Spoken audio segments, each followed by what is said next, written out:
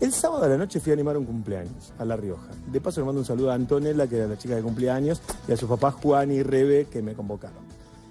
Yo creí que amaba, que amaba lo que hacía. Hasta que conocí a un DJ el sábado en esa fiesta. No, te quiero contar algo, no lo puedo creer. Le mando un beso a DJ Treco también, que lo conocí ahí. Gracias. La, la rompe en redes sociales, todo. Y cuando Bueno, salgo a bailar lo escucho yo. por eso, generacionalmente, yo 44 años no lo conocía, pero el error es mío, ¿eh? No, no es que. bueno. Llego, me pongo. Cuando, cuando llegó el DJ a la fiesta, no sabe lo que era. Trajo máquina de humo. Porque yo me quedé con ser, ser DJ de mi época. Claro. Nada que ver, no, nada que ver. Vos que tenés mi edad, nada que ver. Vino con fuego, humo, manejaba los equipos, animaba también, todo al mismo ¿Cómo tiempo. que fuego? Fuego, cuando decía, eh, levanten la mano los que están solteros, hacía este efecto.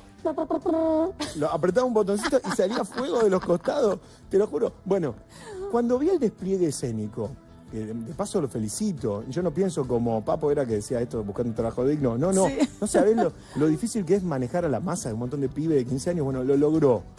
Y me sorprendió, y después me puse a charlar con él. De varias cosas hablé. En el vuelo de vuelta hablé un montón con él. Y quiero ser DJ. Es más todavía. generó admiración, ¿no? No, me- lo admiro, por- me encantó. Así que en cualquier momento me, me van a ver cambiar el look. No acá, ¿eh? Pero en la vida, con buzo, con capucha, me voy a poner, me voy a tatuar la cara de mentira, después me lo saco del tatuaje, me pongo un aro falso también y creo que me hago DJ. Muy bien. DJ H voy a hacer yo. Nunca es tarde. eh, Te digo, me encantó. Superó ampliamente mi vocación, lo que yo creí que me encantaba hacer. No, creo que me gusta más ser, me gustaría más ser DJ. Ese, ese es el trabajo que a mí me gustaría hacer. La pregunta de la trasnoche para vos es, ¿cuál es el trabajo que te hubiera gustado hacer?